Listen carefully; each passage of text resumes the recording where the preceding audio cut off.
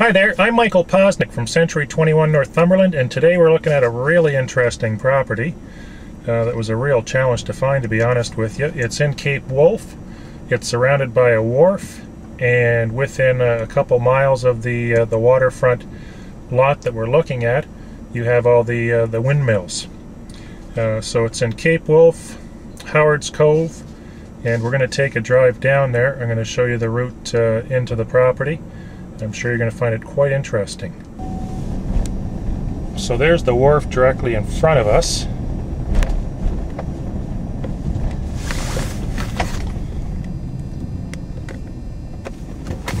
And the access to the lot is just to the right here.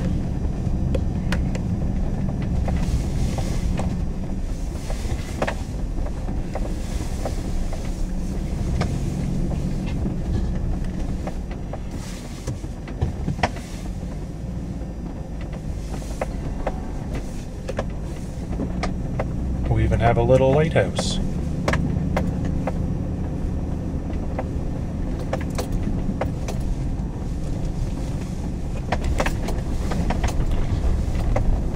The, uh, the wharf is below us by probably 50 or 60 feet. And we're just traveling along this bank to get to the lot. I know this doesn't seem like the safest thing to be doing.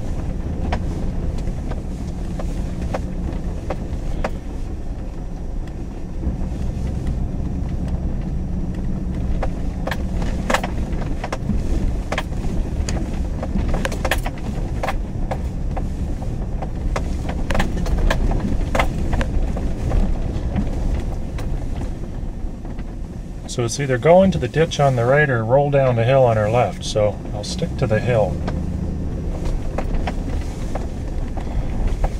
So we're just going to go up this little pathway here. And as best I can tell, the lot should be up here on our left hand, or you know, in front of us to our left hand side. And it is actual waterfront.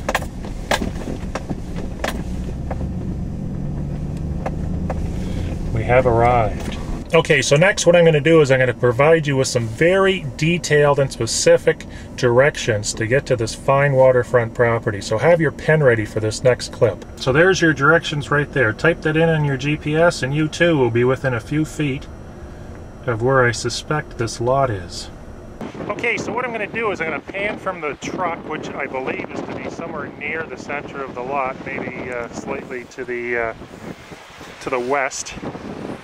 I'm just going to pan here to show you the wharf. You can probably see the windmills in the background. The beach, which is probably about 50 feet below me. All I know is my GPS accuracy improved once I got up here. It's actually quite a commanding location. if You're into that ocean getaway.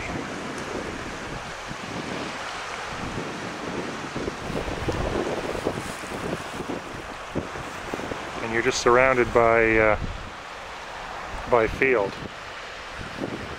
I'm just going to give you a quick clip of the uh, the windmills. They are just amazing to see in action. It's a pretty windy day here too.